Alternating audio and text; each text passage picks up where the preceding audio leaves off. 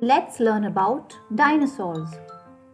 The word dinosaur was originally coined by a British paleontologist named Richard Owen in 1842 and came from the Greek words dinos, that means terrible, and sauros, which means reptile.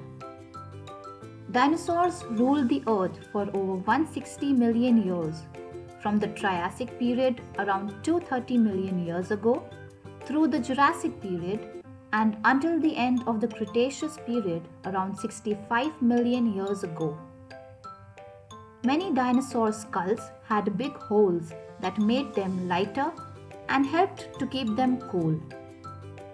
The enormous Seismosaurus, believed to be one of the biggest dinosaur, was about 150 feet long from head to tail. That's about half of a football field.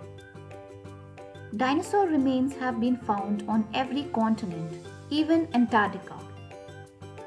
While most people think that all dinosaurs were very big, the smallest were about the size of chickens, and current estimates place the average dinosaur at about the size of a small car.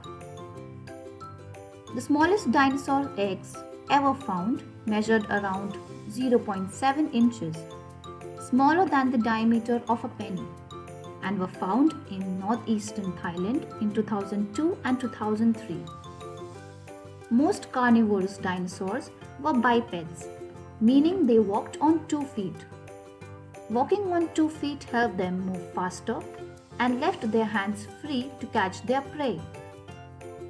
The Tyrannosaurus had the longest teeth of any carnivorous dinosaur.